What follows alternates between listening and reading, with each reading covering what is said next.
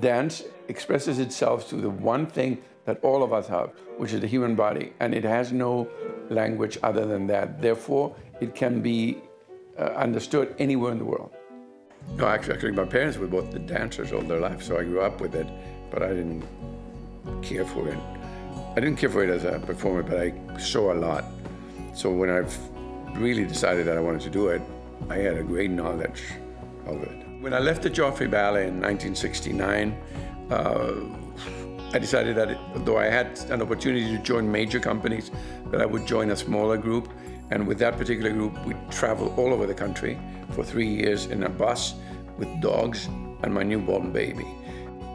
Interestingly enough, Sally and I go back a long time. And Michael became my partner in two very great ballets. One is George Balanchine's Scotch Symphony, and the other is uh, Robert Joffrey's beautiful ballet, romantic ballet called Pas de Déesse. And he was my partner in both those. I was in South America when she decided to retire.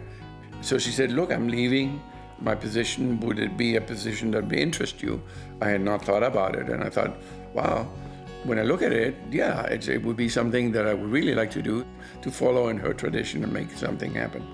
Michael has contributed so much to the arts, not only because of what he's done at uh, the Phoenix Ballet and the Hartford Ballet and at Dance St. Louis, but he's choreographed all around the world. His works are, are just terrific. What he did do was create this um, this thing, Spring to Dance, which we now have at, uh, at. It's just been a, a tremendous success.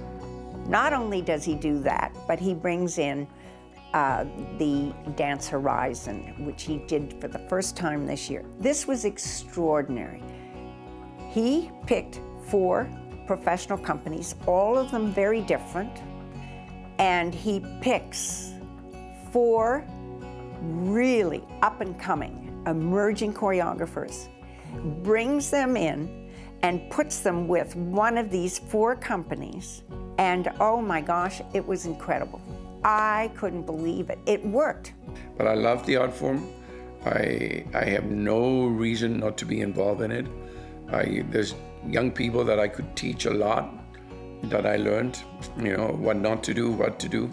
Every year I've learned something new, something different, and I've grown, I think, as a dancer and as a person and just with my movement. He wants great things from us and like he expects us to work hard and actually really push ourselves to like our fullest potential. What he is doing with Dance St. Louis, I couldn't have been happier and can't be any happier because he has taken it just as I said. I remember when I was retiring, Michael is going to take it to the next level, and he has done just that.